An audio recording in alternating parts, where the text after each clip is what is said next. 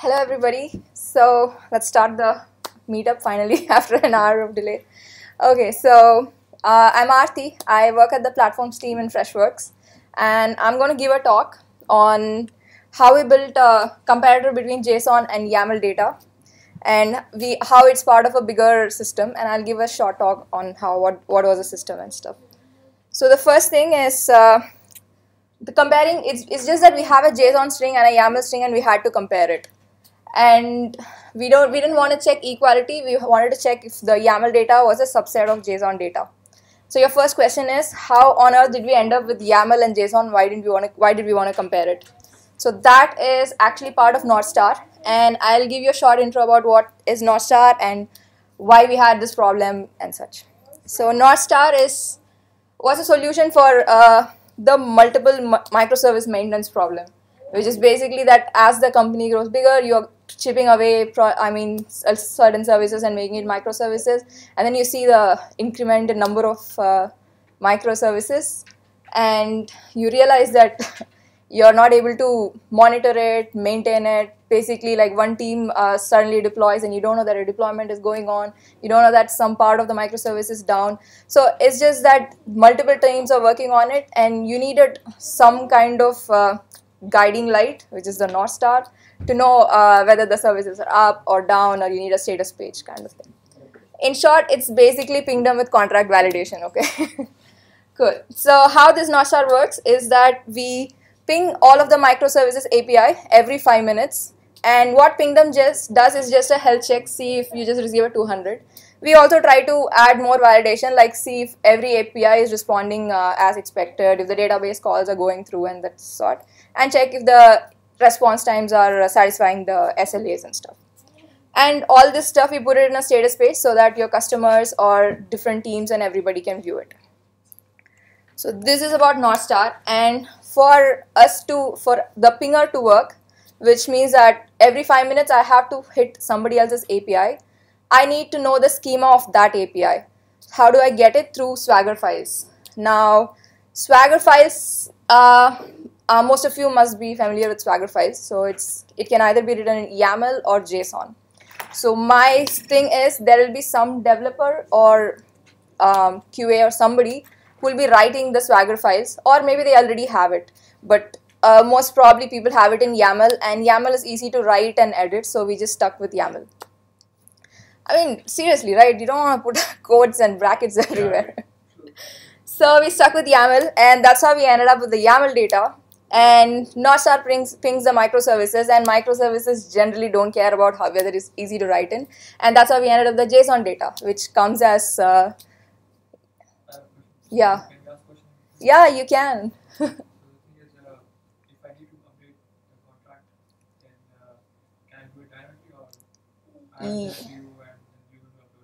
No, it's all dynamic. Basically, it's a self-service portal where you have your Swagger file. It's all in your control. You just update. I mean, change your Swagger file as you require. Just update it.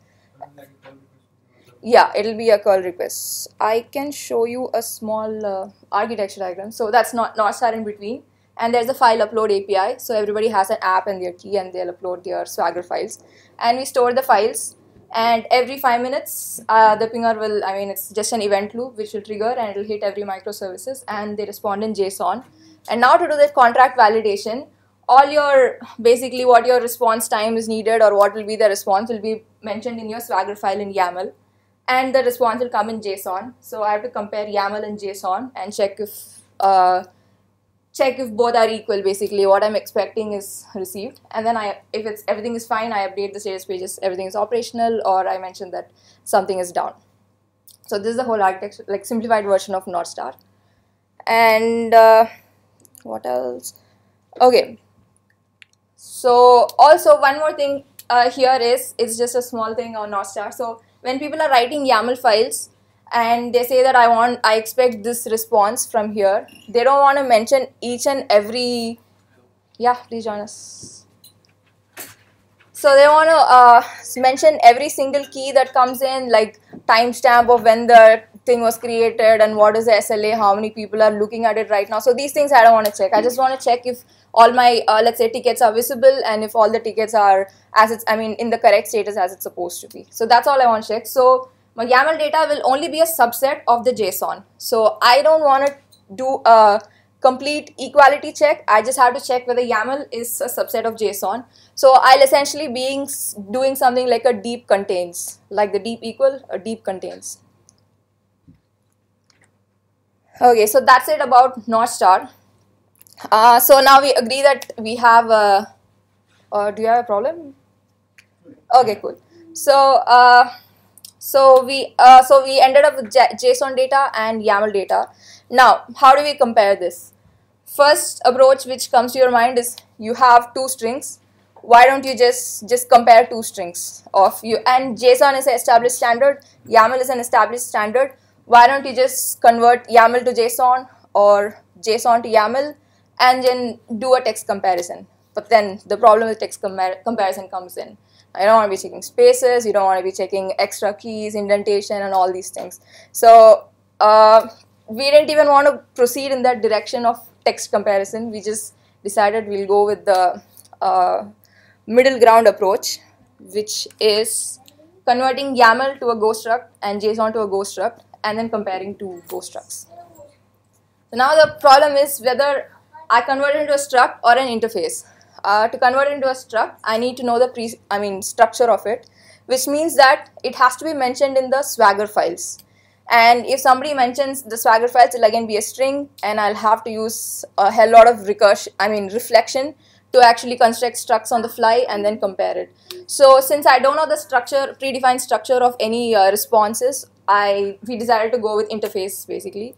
And uh, interface again, so interface everybody has a problem that it's uh, it's it's not very fast. It takes a lot of memory and there's a lot of uh, again type assertions involved but then we didn't have any other option as well so we ended up with interfaces and so if you go with comparing JSON and YAML, converting it into an interface, and if you want to check interfaces, we have a very good uh, deep equal comparison in uh, the standard package.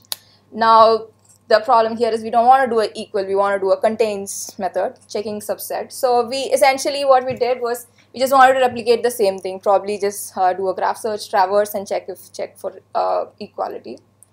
So we proceeded with that approach, but then we also realized that since we have uh, the Swagger format and I'm sorry, the YAML format and the JSON format, we have a lot of restrictions on the keys.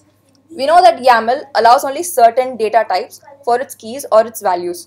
So which will be string, int, float, bool, array or map. I think I left out the nil, but I'm assuming that nobody's going to send a nil anyway.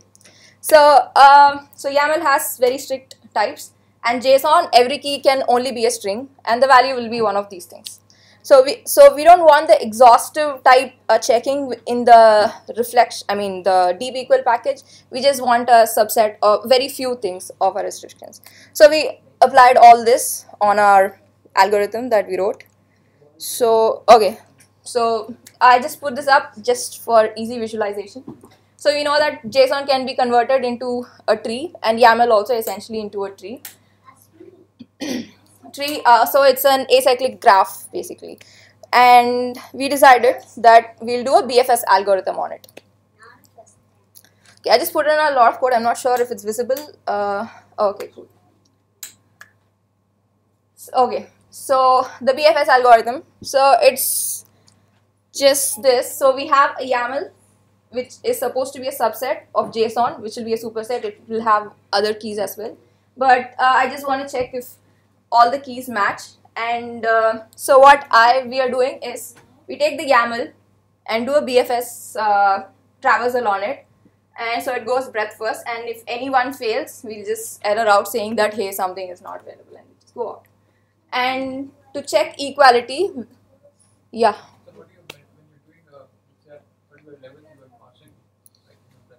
Yeah. If the order is different, like in this case it's K11, K11, K12, K12, Okay, uh, so Uh, okay, so I answered that. So uh, it's just a map basically. So it's just keys. It does. We, I just check whether this key is present in the other map. Yeah, I just do uh, contains. And in case of arrays, arrays you can't actually do a contains because array is an ordered list. So uh, here, uh, even in an array, I'll check check if the first element is matches the second element, second matches the second. So in array, it will be an ordered thing. In map, it will just be a contains. So if you look at this array as such, so this one has to be in the same. Uh, I mean, this thing just has to exist there. Okay, so I'll just run you through the algorithm. I think I can answer this question after I do. So how it goes is just uh, the BFS algorithm. I just take two keys. Uh, in case it's a leaf node, basically if it's a value, I'll just check for equality. If not, I'll put it into a queue. And BFS we use a queue, and I put it into a queue. So uh, I'll just run you through the algorithm as such. So first thing, I'll just put both of them in the queue, and when I pick it out, so the first I'll check uh, whether this thing exists there and everything. And when I come to an array, now this thing I can't check equality, so I put it back into the queue and move on to the next thing. And I know it's a key value, I can just check uh, for equality. I mean, just do a direct check and not put it back into the queue. And okay, so what was your question again? I think this is where I answered. So you so what about the order? So in the sense you cannot Yeah. guarantee the order in an array actually. So Yeah. you have the same elements but ordered slightly differently. How would you know? I mean, and what if you are going to do the sorting? What Are they what equal? you First thing is if array its position, I mean, Okay, if it's in a different order, are they even considered equal? in an array, if it's in a different position, it's considered unequal. So, so they can check it out. As So this in, is it doesn't matter what, I mean, they're out of order, then it's not the first element that doesn't Yeah. match basically, then it So it mostly uh, is like uh, generally when somebody responds with me to me as an array, you don't expect it to be unordered. Like if it's unordered, you'll probably put it in a map or something, but you don't expect the array to be unordered. So it's just an assumption that we made. But there is pretty much. Co- I mean, I did think of this as well. So there is a little bit of un incomplete code that also handles unordered arrays. Okay. So- Have those issues where Huh? No, not till to- now actually. and when it happens, when it comes, we'll cross that bridge immediately. Yeah, it shouldn't be a big change in the algorithm. Yeah, it'll just be a small handling here and there, so that is not done yet. So for now, it's just ordered array handling. Okay, so that's pretty much it. And this is just a shortened version of the code where I have a queue and I just check whether if it's a this is all for the root. If it's a array, I'll call compare arrays, which means I'll check ordered things, and I'll compare maps, which means it's just unordered and it's a map. So this is the traversal part. And here goes compare maps. So this is where all the restrictions which reflects uh, deep equal will not provide basically. Uh, so I take the YAML subset, YAML map basically, and I check if the key is a string. So if YAML's key is a string, I know that, uh, I mean if the YAML's key is not a string, I know that it won't match with JSON because JSON's key only can be a string. So I'll just error out here saying that hey you gave me an invalid YAML subset. And again, uh, just check if the key is present in the JSON. And if the key is not present, I'll error out saying that hey the key that you present is not available. And then for the values, I check uh, all the uh, data types that are allowed in uh, YAML and JSON and just check it and everything. And if it's a type which is again a map or array which needs a deep checking, I just put it back into the queue and then I move on. So there's no recursion basically. Uh, we just wanted to stick with the regular iterative model. Okay, so that's it about the algorithm. And probably one cool thing that we did was you must have some people might have seen this problem where you are sending a, a float number in uh, like in a JSON, which is let's say one E3, which is basically the number thousand, and you put it in the server and you unmarshal it. And after unmarshalling, the number is going to be represented as thousand, and you marshal it again to send it to some other service, and you're going to get the number thousand. So this was a problem probably somebody faces, and that's why there was JSON number. Until I uh, came here, I didn't, I had no idea what JSON number. Even I couldn't understand it at all. Then when I hit this, I realized okay, that's where they have it. So it just me, it just means that whenever it gets a float string, if you ask the JSON decoder to use number, it will parcel this one E3 into a um string, uh, basically into a string, and put it in a type called JSON number, and it will just move everything instead of in float representation. Everything will just go as a string. Your format is maintained.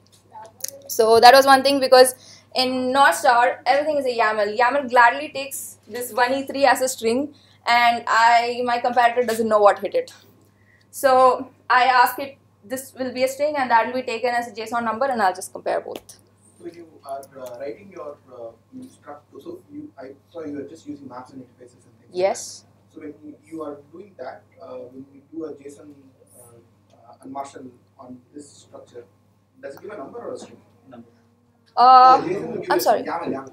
YAML will give me a string basically. YAML gives you Yeah. a string on the other side. Yeah, yeah.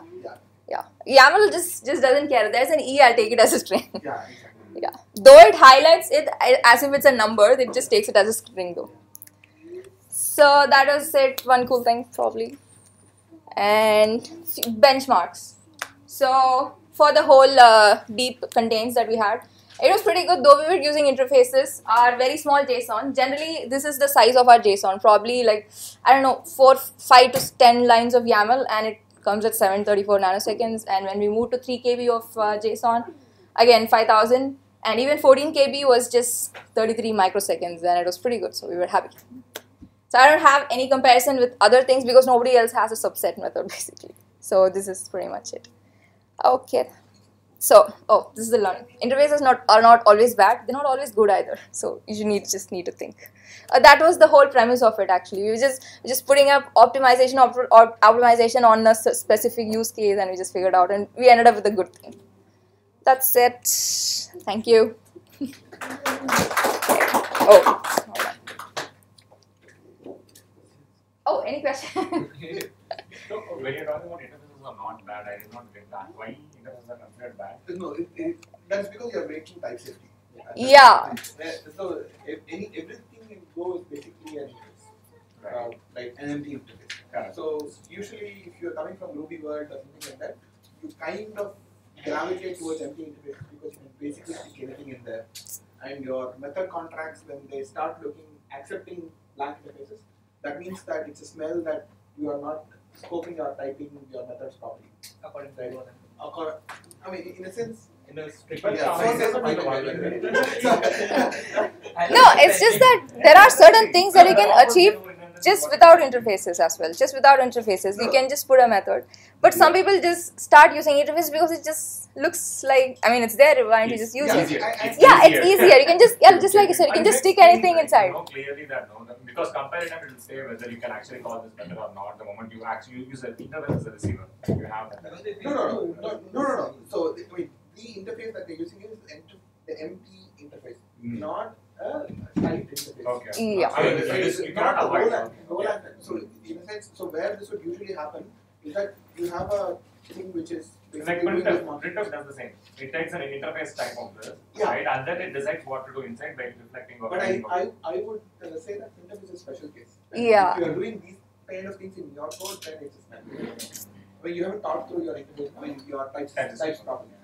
So generally, when you do, you know the type of it. You just know that three, four types. You wanna put it into a mold, but then you use a very big mold interface. You can just take anything. So that's the only thing. Yeah. Okay. And rely on the other interfaces. I mean, like when you want to do The like, define these interface. things, add behavior onto the Yeah. take that interface and then Use that. rely that on that. That's all. Okay. Okay. It's not connected to Golang. So, so North Star is much like a monitoring system. Uh, Prometheus. Prometheus. Prometheus. Uh, Prometheus, I would say. Ah, okay. That was my question actually. About Not it. the somewhat similar to Prometheus, but- but I guess. Uh, Yeah, Pingdom this. Yeah. Is yeah. Is a little Is Actually. this thing is very particularly designed only for REST APIs and uh, WebSockets basically. So it's just very and it can handle a lot of traffic. If it's just HTTP and Golang comes with a lot of constructs like where there's context and there's concurrency and you can just do a lot more things just in one shot. So, That's all. uh, handles all your microservices and thresholds. Uh, not everything is onboarded, but uh, we're just starting. So I mean, it takes time for people to actually start using everything, right? So we are start with the platform services. Now all platform services are on it, and we are gradually moving to products as well. So, What is North Star goes to? huh? Oh, that's the good thing about it. It's very reliable. Okay, let me not jinx it, but generally it has not gone out Most until. honest looking at it, go to the? So we have um. There's What a if North North Star Star goes south? There's a North Star monitoring service. yeah, everybody asks me why do you use North Star to monitor it? It's just another stack of North Star. Yeah. Who monitors the monitor?